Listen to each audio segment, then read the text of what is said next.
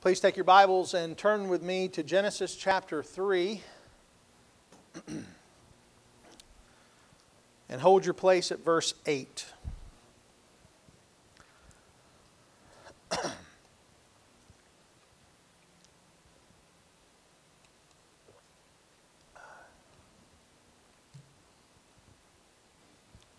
While you're turning there, I want to make a few preliminary comments in 2015, an article was put out by the Wall Street Journal that stated that hundreds of churches in Europe have closed because attendance in those churches had plunged to near nothing. And this has caused many folks to ask well, what do we do with these giant buildings that once housed worship services for God. Well, many of those buildings are being turned into, um, well, all kinds of things. They're being converted into nightclubs. Some of them are being converted into uh, warehouses. Some are be, even being converted into mosques. And uh, one in the Netherlands was converted into a skateboard park. It's now an indoor skateboard park. And this is also happening in the United States. According to NPR, a centuries old Methodist Church was purchased recently so it could be repurposed as a bed and breakfast. It's called adaptive reuse. They take an old church building, they gut the inside and turn it into something else, but it still looks like a church on the outside.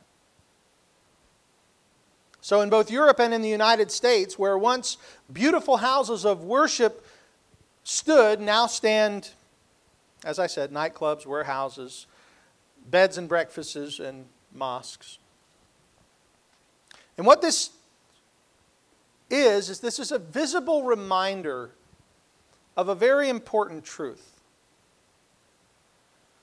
Sin has the power to take something beautiful and make it ugly. Sin has the power to take something that is intended to glorify God and, and use it for another purpose. And I think that that's what we actually see in the garden. What we're going to see today is what once was a beautiful place of communion between God and man is now going to become a courtroom. Sin is going to take that beautiful place, that beautiful sanctuary, and turn it into a court of law. So, with our attention on the text, let us stand and read. And we're going to read verse 8 all the way to the end to see this take place.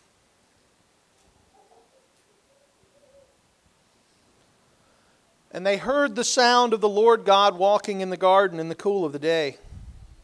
The man and his wife hid themselves from the presence of the Lord God among the trees of the garden. But the Lord God called to the man and said to him, Where are you? And he said, I heard the sound of you in the garden, and I was afraid because I was, because I was naked and I hid myself. He said, Who told you that you were naked? Have you eaten of the tree of which I commanded you not to eat? The man said, The woman who you gave me to be with me, she gave me the fruit of the tree, and I ate. Then the Lord God said to the woman, What is this that you have done? And the woman said, The serpent deceived me, and I ate. The Lord God said to the serpent, Because you have done this, cursed are you above all livestock and above all beasts of the field, and on your belly you shall go, and on the and dust you shall eat all the days of your life. I will put enmity between you and the woman, and between your offspring and her offspring. He shall bruise your head, and you shall bruise his heel. To the woman he said, I will surely multiply your pain in childbearing. In pain you shall bring forth children. Your desire shall be for your husband, and he shall rule over you. And to Adam he said, Because you have listened to the voice of your wife and have eaten of the tree of which I commanded you, you shall not eat of it. Cursed is the ground because of you, and in pain you shall eat of it all the days of your life. Thorns and thistles it shall bring forth for you, and you shall eat the plants of the field. By the sweat of your face you shall eat bread till you return to the ground, for out of it you were taken, for you are dust, and to dust you shall return. The man called his wife's name Eve because she was the mother of all living. And the Lord God made for Adam and for his wife garments of skin and clothed them. Then the Lord God said, Behold, the man has become like one of us in knowing good and evil, lest he reach out his hand and take also of the tree of life and eat and live forever. Therefore the Lord God sent him out of the Garden of Eden to work the ground from which he was taken. He drove out the man, and at the east of the Garden of Eden, he placed the cherubim and a flaming sword that turned every way to guard the way to the tree of life. Father in heaven, may you grant me mercy as I preach. Keep me from error. Give me boldness. Keep me from cowardice. And bless your people. And Lord, if there are those here who do not know the Lord, may this be a day of reckoning for them in Christ's name. Amen. Please be seated. Now, you know as well as I do, I don't normally read that much text because I don't normally preach that much text. But you also know, if you've been here, we've been going through Genesis verse by verse, and I have already preached verses 8 to 13. However, I felt the desire to remind you that what we see beginning in verse 14 is based on what happened in verses 8 to 13, and I felt like just jumping into verse 14 would be somewhat of a little premature. Remember this. What we have seen so far in Genesis is three primary scenes. We have seen the scene of creation, and that is God creating the world. That's chapter 1. Then we've seen the scene which, which we might call the domestic scene. God creates the family. He creates man, he creates woman, he marries the couple, and that's what we see in chapter 2. He gives them a place to live, he gives them a job to do, and he gives them one another to live together in the estate of matrimony. So we see creation in chapter 1, we see, if you will, domestication in chapter 2, but then in chapter 3, we see failure. In chapter 3, there's the introduction of failure, corruption because of sin. Now, I want you to think of this, and I want you to keep this in your mind today because this is important, not only for the theme of the sermon, but this is actually an important truth regarding the whole of Scripture. Sin is a legal matter. People often think of sin as a moral thing, and it is, but sin is a legal matter. God has given a command, and He has given a punishment that goes along with that command. Therefore, God has created a form of a judicial system. If you do this, you will receive this. This is the punishment that will accompany this act of transgression. And the act has occurred. And so we see, as I said in my introduction, we see the garden turn into a courtroom and the judge walks onto the scene, and everything now changes. I have a four part outline today. If you'll throw that up for me, Miss Pam. What we see in verses 8 to 24 is we see the realization of guilt, we see the interrogation of the guilty, we see the condemnation of the guilty, but then we see the provision for the guilty. And that's the part I, I hope to get to because as I was preaching this sermon to myself, I said, wow, I don't think I'm going to be able to get there. But I don't want to not get to the provision part. So, what I'm going to do, because I spent the last several weeks looking at the first two, I'm going to speed through those so that I can get to the third one. So, you guys ready? You buckled in? Because really, we've already looked at the realization of guilt. That's verses uh, 7 and 8. In verses 7 and 8, we see the realization. They realized they were guilty and they felt shame. They realized they had done wrong and they felt that they had done wrong and they had this shame, and so they decide to cover themselves. They retreat from the, from the presence of God, first by trying to cover their nakedness, and then when they realize that covering won't do, they run into the trees, hoping that somehow the trees will block them from the gaze of Almighty God and they run into the trees and they try to find themselves somehow hidden, and they heard the voice of the Lord. Or they heard rather the, the sound of the Lord coming in the cool of the day, as we talked about last week. They ran for cover because they knew their coverings were inadequate. I want to just mention one thing about guilt. Guilt and shame are not the same. Guilt is forensic, meaning it is legal. You're either guilty or you're not. Somebody would say, I feel guilty. No, you feel shame. Shame is the experience, guilt is actual. It's legal, it's forensic. When you sin, you are guilty, whether you feel guilty or not. See, God gives us shame to accompany our guilt so that we will recognize that we are guilty and hopefully turn to Him. You see, shame is not a bad thing. We always tell people you need to release your shame, get rid of your shame. In one sense, shame can be bad if we, if we are forgiven and we continue to live in shame. That's not good. But shame is a check on our conscience. When we are guilty and we feel shame, that's a good thing. If you're guilty and you don't feel shame, there's something wrong. So Adam and Eve are guilty and they feel the shame of their guilt, and so they try to hide from God. And that's what we see the realization of guilt.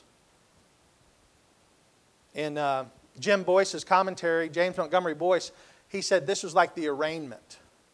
What, what's the purpose of the arraignment in a courtroom? To identify what's happened. What, you know, you, you arraign, you, you, to, to, to declare the charges. Well, the charges have been declared. They have a command that they have broken. So God has come. The judge now comes onto the scene. And what's next? The interrogation. The first question what does God ask? Where are you? Now, you would think if Adam were trying to hide from God, he would have not answered. You ever think about that? God says, Where are you? And Adam says, I hid because I was naked.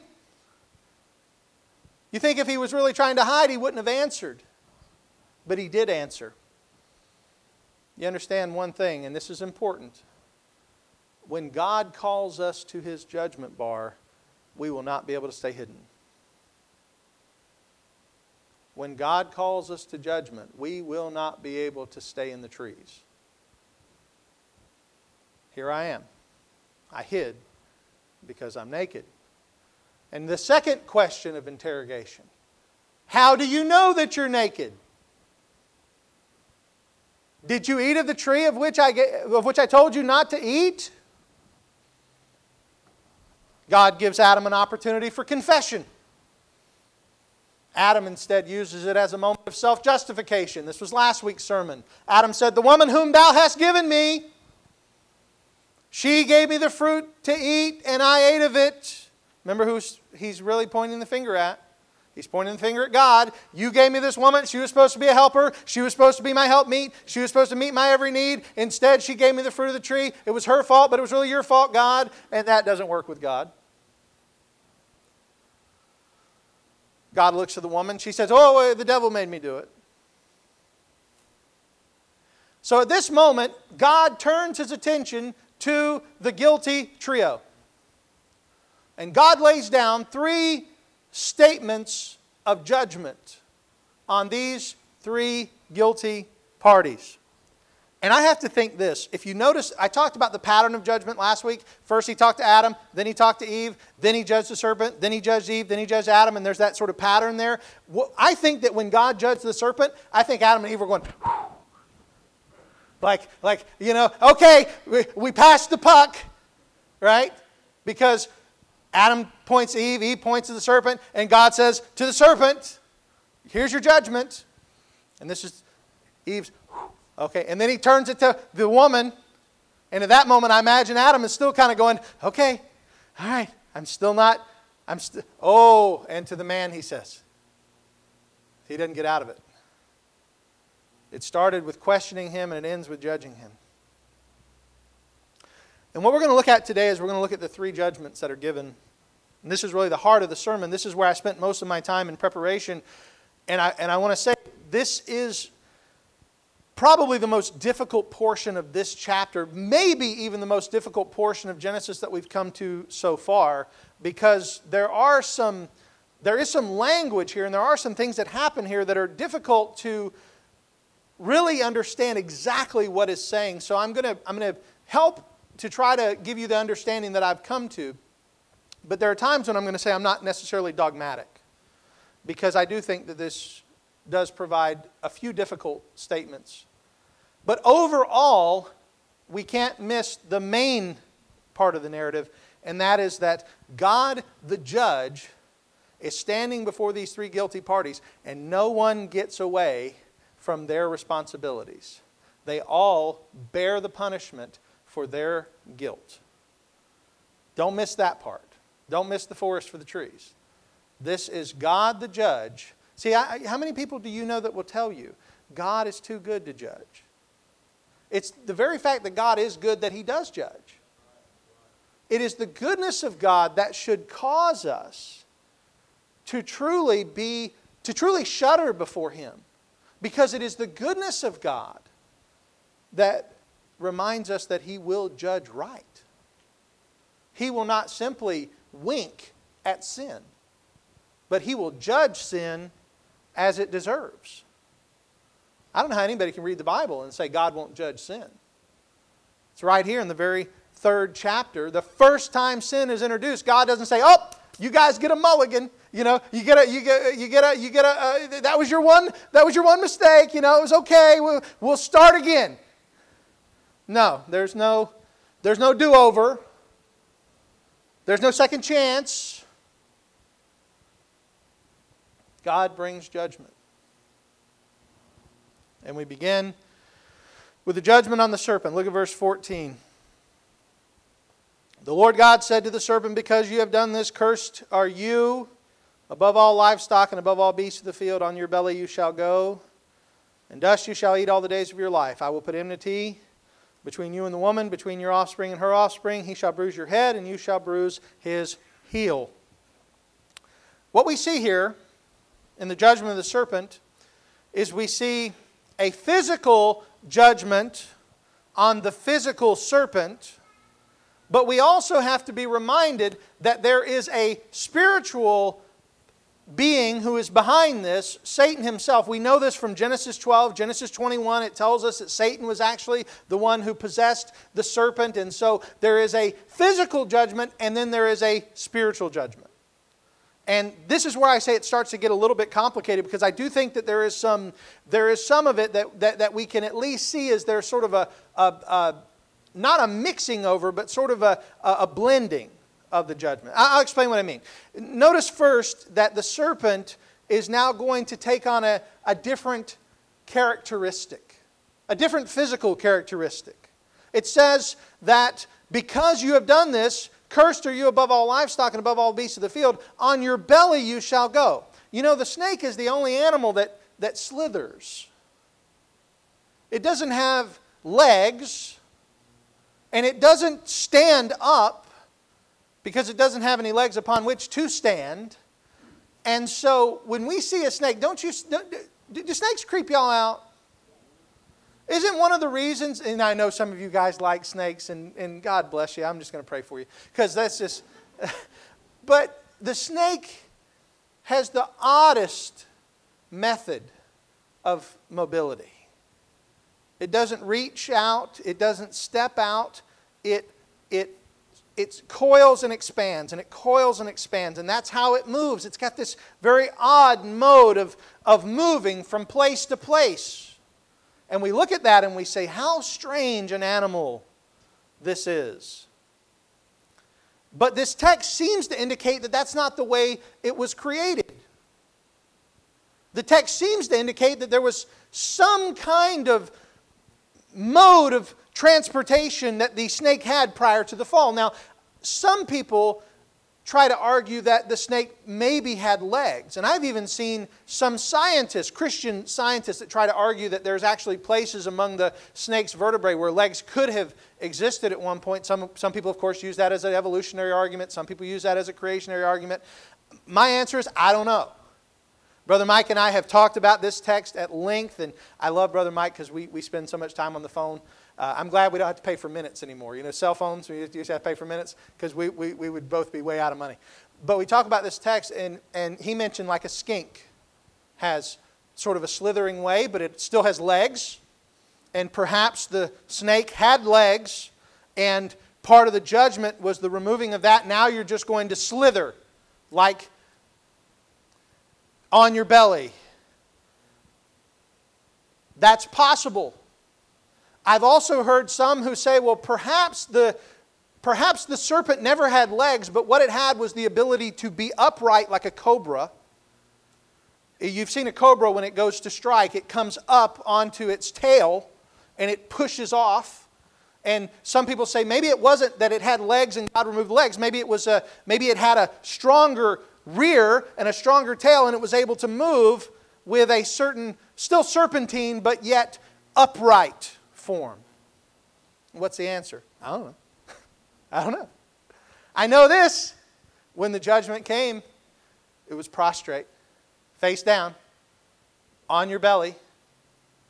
You're going to be now on your belly, and that's how you're going to move. That's part of the judgment.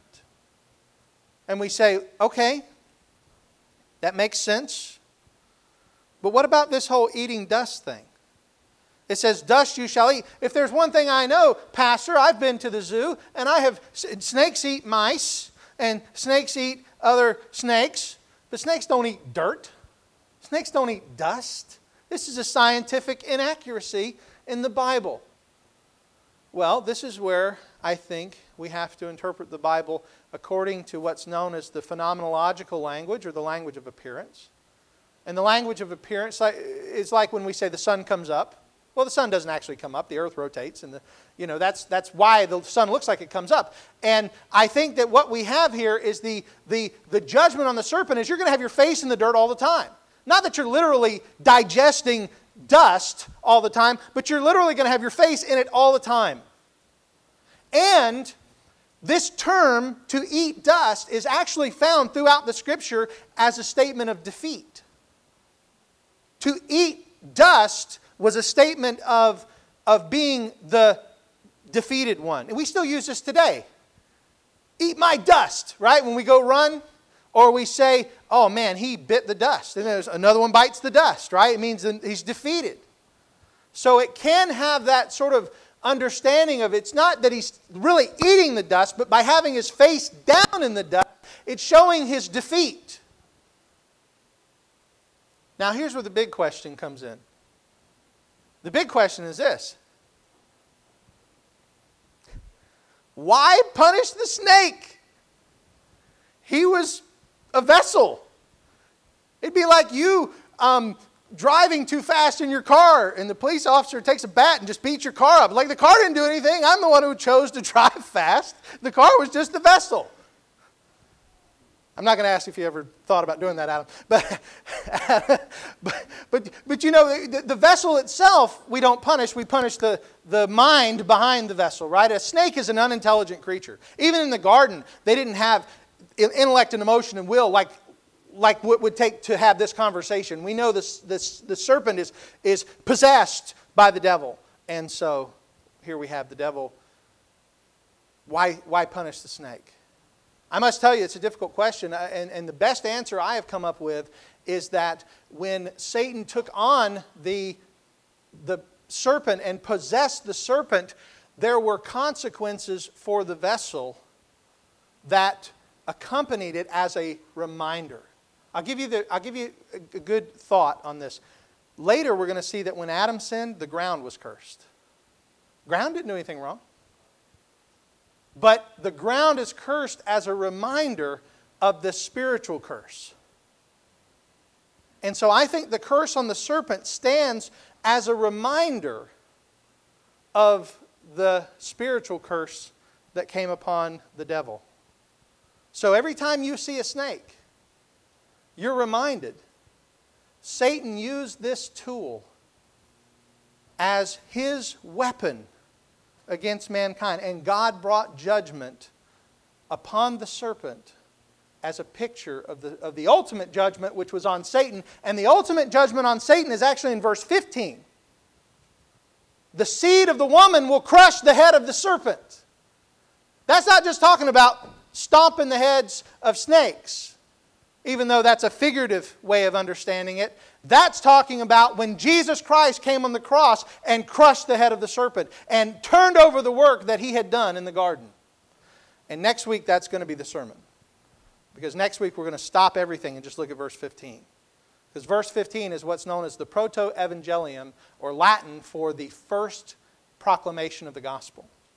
The first proclamation of the gospel is this the seed of the woman will crush the head of the serpent. And we're going to see that more next week. So let's move on. So we've seen the judgment on the serpent is both physical and spiritual. Now we see the judgment on the woman, and we see that it regards relationships. First, the relationship to childbearing. That's a physical judgment. And then the relationship to husband, which is an emotional judgment. Let's look first at the, the, the relationship to childbearing. I have to take a sip of water, excuse me. As I said, I got a lot to say today. this, is, this is a big text. He says, To the woman I will surely multiply your pain in childbearing. In pain you shall bring forth children. Your desire shall be. Now here's, I'll get there in a minute. Your desire shall be for your husband, and you shall rule over him. We'll talk about that in a minute. Let's look first at the childbearing part. Prior to the fall, no children were born. There are no proto uh, uh, lapsarian children or, or, or pre-lapsarian. Pre-lapsarian means before the fall. There are no pre-lapsarian children, right? Only people that exist prior to the fall are Adam and Eve. So we don't know what birth would have been like had there not been sin. But my assumption is it would have been a joyous experience devoid of pain. However, I know now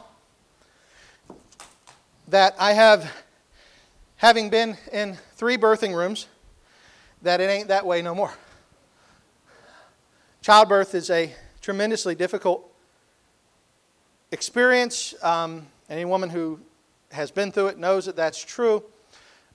And I think, that, I think an argument can be made that this goes beyond just childbirth because it, it references pain in childbearing and pain in bringing forth children. I think that there's also a sense in which not only will there be pain in the physical act of childbirth, there's pain in raising children. Um, it's, it's one sinner raising a little baby sinner who's going to grow up to be a, a, a child sinner and then he's going to grow up to be a, an adult sinner. You, you, you're going to have this relationship. You're going to make sinners and they're going to behave like sinners. And they're going to be, they're going to be subject to the corruption of sin. This is why we have miscarriages.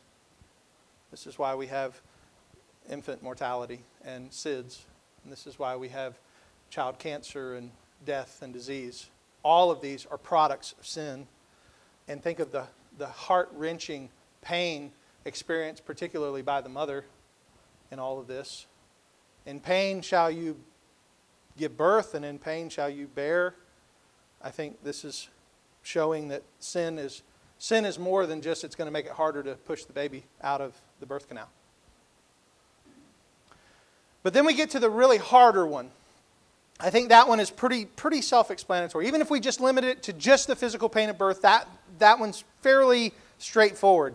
The second one is so difficult. I have to say, I have, I have read so many commentaries on the latter part of verse 16 that I could, I could literally give you six different options as, as possibilities as to what it means. All of them, I think, potentially true or not.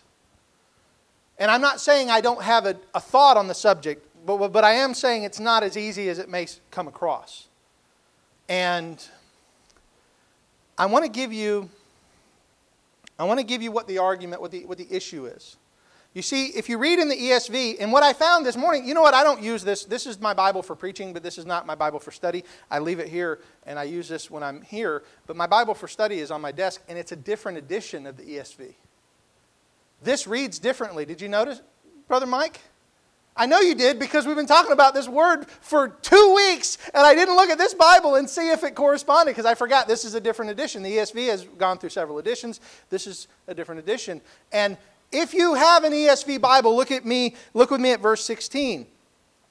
Because it says in verse 16, Your desire shall be for your husband. But in some of your translations, it says, Your desire will be contrary to your husband. Who has contrary? You have a different edition of the ESV. That's wild. But you notice there, there's a superscript, right? The superscript is that little number. And that number takes you down to the bottom. In this version, it, the, the superscript says against, but in yours, it says toward your husband, right? In the superscript, if it says contrary, it's so weird that one says it one way. It's like you got two. I thought the translations would at least agree on this. Apparently, they don't. And I'm learning this on the fly. uh, but the point of the matter is the question is this Will her desire be for her husband, or will her desire be against her husband? Will her desire be to cling to him, or will her desire be to rule over him? That's the argument, right? Some people will take you to Genesis 4, and Genesis 4, the same word is used, and it says, Sin desires to have you. And in the ESV, the, one of the translations says sin, sin is contrary, sin's desire is contrary to you. It's so weird that it, they add that word in. Anyway, the point of the matter is this what is it trying to say? Well, I think it has to be balanced with the next part. Because whatever it's saying about her desire, whether her desire is to rule him or whether her desire is to cling to him, and there is a Song of Solomon verse that uses that word desire, which means to draw near. So it can be that. The issue is his ruling over her. Because ultimately, what is happening in the fall is an, is an, I would say, an exacerbation, but maybe a better word would simply be an exaggeration of the headship of the, of the man. You remember, the man always had a position of leadership. Even in chapter 2, he was the husband, she was the wife. He was created first, she was created second. He had the position to work and keep the garden. She was created to do what? To be his helper in working and keeping the garden. So there was already a position of headship. And now this position of headship somehow is going to experience a form of corruption. Some people think the woman's going to rule over her husband and he's going to rule over her. And that's, this is the ultimate, uh, going to create this ultimate sense of grudge between the two. And I can see how they can come up with that because I've seen a lot of marriages where the wife just wanted to rule over her husband. Have You ever seen that? You ever seen the opposite, though? Where the man just totally dominated his wife? So we see both, right? And I've seen women who didn't have a desire to rule over their husbands. And I've seen husbands that ultimately were submissive to their wives. I will say this throughout human history, there has been a basic pattern. And the basic pattern is that men have dominated women because of physical strength and typically a difference in personality. Men have a tendency to have the personality of dominance not always, but in general. And we see this, I think, as the example of this is what will happen. There will be this ruling of the man over the woman. In Genesis 2, they had a position of headship that was fully mutual, fully loving, fully committed, and there was no, there was unity now that unity has going, is going to be interrupted. Somehow. Now that unity is going to experience a time of genuine and hard disunity. Whether it's she desires him and he rules over her, or she desires to rule and he rules back, there's something that is, is, is been introduced now. What do we have in Christ that is supposed to be the change of that. The call in Ephesians 5. Husbands, do what? Love your wives. And wives, do what? Doesn't say love your husband, it says respect your husband. You know why women are called to respect their husband and not love? Because she does have a role in the house to respect the position that he is in. And why is he called to love her? Because in his role as head, he must be a loving head to his wife as Christ is to the church.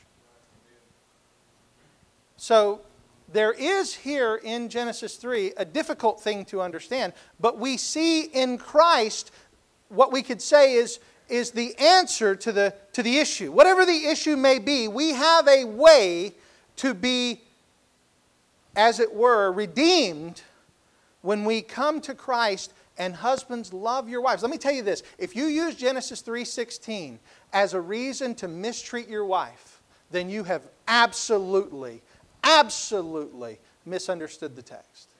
If you say, "Well, I'm allowed to rule over you." It says right here that's part of the curse. You who you have you have not because as I said, yes, the curse includes this dominating relationship, but in Christ we are redeemed. And in Christ, we are called to love our wives as Christ loves the church.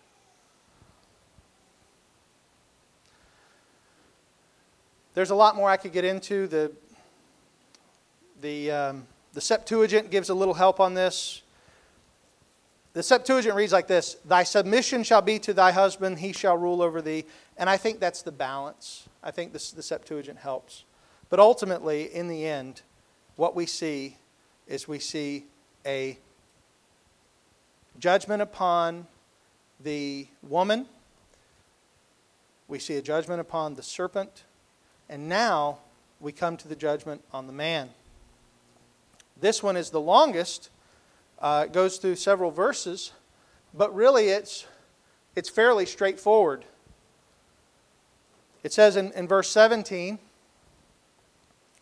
and to Adam he said, Because you have listened to the voice of your wife and have eaten of the tree of which I commanded you, you shall not eat of it. Cursed is the ground because of you. In pain you shall eat of it all the days of your life. I, I, I do want to point one thing out. Notice that God reminds Adam of what he did. He didn't, he, he, he, he, didn't really do that with, with, with, with Eve and, and the serpent so clearly. He, he says here, not only did you eat of the tree, but you listened to your wife you, you listen to you listen to somebody other than me. I told you, on the day you eat of this, you shall surely die. The serpent said, No, you won't. The, the, the, your wife repeated that, and you, you listened to them rather than me. The, the, the genuine failure of Adam is all over the place. I was talking, Lori and I were talking about this this morning. Adam failed by not protecting his wife, Adam failed by allowing the serpent in the garden. But Adam also failed by listening to somebody say God's word isn't true, and he believed it. I will say this to you. The biggest danger in the world right now is not political, it's not socioeconomic. The biggest danger right now is there's people who are preaching this word who don't believe it. I may tell you I don't understand everything in this book, but it's true. And it is not dependent on my understanding. It's not dependent on my ability to wax eloquently about Hebrew and Greek. It's going to be true regardless of whether I stand or fall. Eve told him, the serpent told me, God's a liar. And Adam believed it. So God reminds him, because you have listened to the voice of your wife and eaten of the tree which I commanded you, you shall not eat of it. Cursed is the ground because of you. In pain you shall eat of it all the days of your life. Thorns and thistles it shall bring forth for you, and you shall eat the plants of the field. No longer will Adam eat from the abundant fruit of the garden. Now he will wrestle with the ground for his sustenance. The sweat of his brow and his calloused and bleeding hands would serve as a reminder of his failure. I do want to make an important note. In the same way that headship is not part of the fall, but a, a perversion of headship, work is not a part of the fall either. Some people say, oh, we get to heaven, we're just going to sit on clouds and strum, strum harps and we're going to do nothing. Wouldn't that be awful? If you didn't have anything to do in heaven but sit on a cloud and strum a harp and eat grapes or whatever, whatever people imagine? No.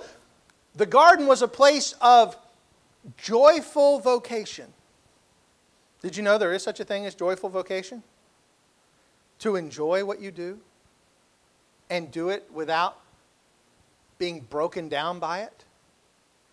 Adam had joyful vocation in the garden to work and keep the garden. He had a good job, and he never tired, and he never bled, and he never bruised, and he never calloused. Somebody asked the other day, Did Adam need shoes in the garden?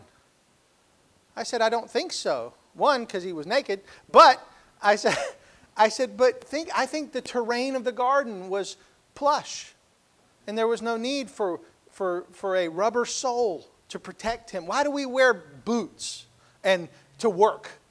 Because work is hard on our feet.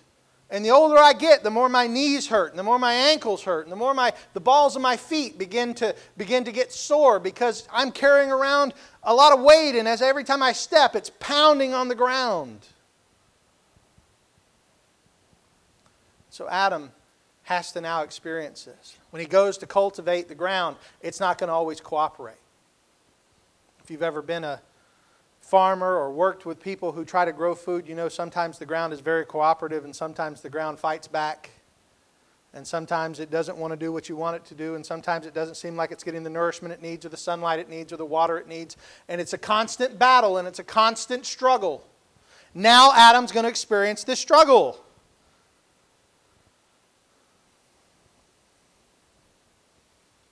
I want to just point out to you, we don't have to go there, but in, in Romans chapter 8, Paul reminds us that the ground itself. What happened? Everything okay? Did we lose power? Don't worry about it. All right, so Paul reminds us that the ground itself is yearning for redemption. Now, that's what we call personification because the ground doesn't have a brain, the, the ground doesn't truly have an, emotions. But he says, all creation is yearning like a woman in childbirth for the redemption of the earth. This is Romans 8 um, 19 to 23. The earth is experiencing a curse. And then we see the most I think the most important part of the judgment is verse 19. By the sweat of your face you shall eat bread till you return to the ground. For out of it, that is, out of the ground, you were taken, and out of, or excuse me, and to the dust you shall return. You are dust. Adam, you are dust. You were made from earthly elements. Now, because of sin, you will return to those elements. You've heard, the, you've heard this said at funerals ashes to ashes, what? Dust to dust. That's from the Anglican Book of Common Prayer. God said, You will die. On the day that you eat of this, you will die. Now, I did have, I had a great question last week. Zoe came to me after service, and I want to thank you Zoe. It was a very good question. She said, Pastor Keith, he said he was going to die that day, but he didn't die that day. And I said, That's a very good question. That's a question that even theologians and scholars have wrestled with. How do we understand the fact that God said, On this day you will die, and he didn't die that day? And I said, There's really, there, we have to understand this first from the, from the perspective of the spiritual because there are both physical and spiritual judgments. And in a spiritual sense, Adam did die the very moment he ate. Because in the very moment he ate, there was a spiritual separation between him and God. And just like in Ephesians 2, it says we're born dead, you know, and you were dead in your trespasses and sins. As soon as Adam ate, he was separated from God and he was under God's judgment. Therefore, there was a spiritual death that he was experiencing. But also, the moment he ate, he began to be subject to physical death and the promise that he would die would eventually come true. He would die. 930 years after he ate of the fruit, he died. So the promise of God did ultimately come true. He died on that day spiritually, he died physically. He began to die physically that day, and he would eventually, his body would catch up with his spirit. But this is what brings us to the last part, and it really does. And I know I'm, I'm over time. I'm going to I'm gonna tell you a secret. I have this timer. It quit working. I thought I was at 30 minutes and had plenty of time. I've probably been going for like an hour, so I'm sorry. so I'll, I'll bring it to a close. Because I do want to point this last thing out the provision for the guilty. Look at verse 20 to 24. One, what's the first provision for the guilty? Life will continue. He calls his wife Eve. Why? Because she's the mother of all living. Life will go on. That's faith. By naming his wife Eve, he expresses faith in the fact that life's going to continue. God is going to be gracious. God covers them in verse 21 with skins. That's a picture of atonement. That's God's grace. So, this is a provision of grace in the midst of judgment. But the last thing is God kicks them out of the garden. And you say, How is that gracious? Because there is grace in excommunication. How is there grace in excommunication?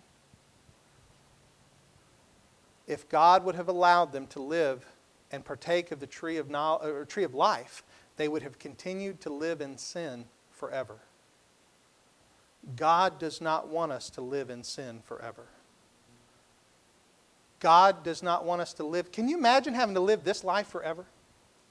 With all the pains and all the struggles, and it's just going to get worse and worse and worse, and you're going to be like this forever? No, we yearn for redemption. We yearn for to, to, to be fixed. We yearn to be completed. This can't be what's forever. You ever heard somebody say this world's so bad it's like it's under a curse? It is. And the curse is going to be redeemed. One day, you're going to get a new body. One day, you're going to have a new heaven and a new earth. One day, everything will be back and better than it was before. But until that day, you cannot eat of the tree of knowledge or the tree of life and live like this. Excommunication is an act of grace. God sets them out of the garden to protect them from eating of that tree and living in sin forever. But another tree would come.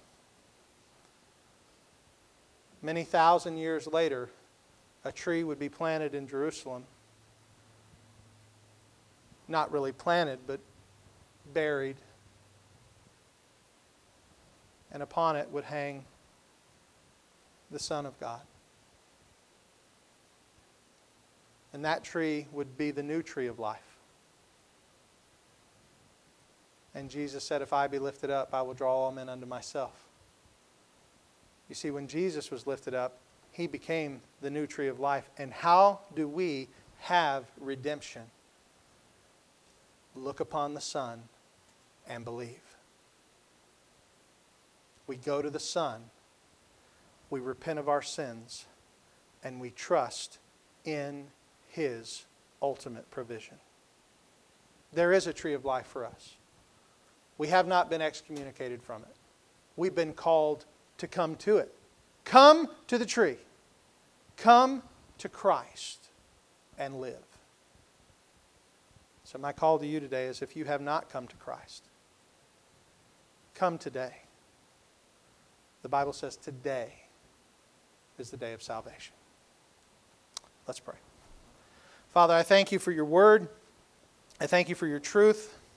And I thank you that even in the midst of judgment, there was grace.